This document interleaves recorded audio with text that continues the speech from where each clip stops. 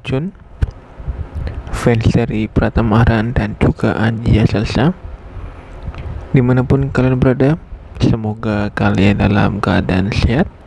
Dan terima kasih sudah mengklik video ini. Di video kali ini Anda akan mengupdate kabar terbaru dari Arhan dan Anjija yang di mana Anjija mengungkapkan kerinduan kekangenannya kepada sang suami tercinta Pratama Arhan yang hampir hampir dua minggu mereka tidak berjumpa hingga sekarang John. Tapi sebelum kita lanjut pembahasan video kali ini alangkah baiknya bagi kalian yang baru saja menemukan channel ini silahkan klik tombol subscribe nyalakan loncengnya biar kalian tidak ketinggalan berita terupdate aktual dari tim kami.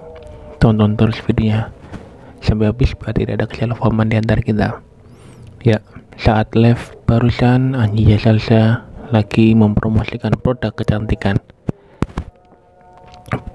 Di sana tiba-tiba sang suami tercinta Pratama Arhan nelpon sang istri.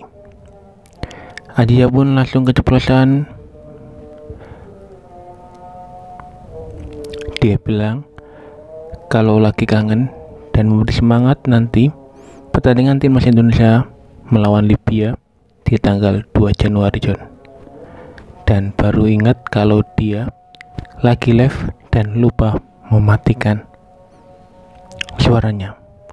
Hal ini bikin netizen salah tingkah netizen baper melihat keromantisan kebucunan mereka berdua di luar kamera momen-momen keromantisan di belakang kamera juga sudah mulai tersebar luas. Memang benar adanya. Aja ini orangnya sangat bucin habis. Dan jarang diketahui sama orang apalagi haters pasti mencari kesalahan-kesalahan dari Anjija.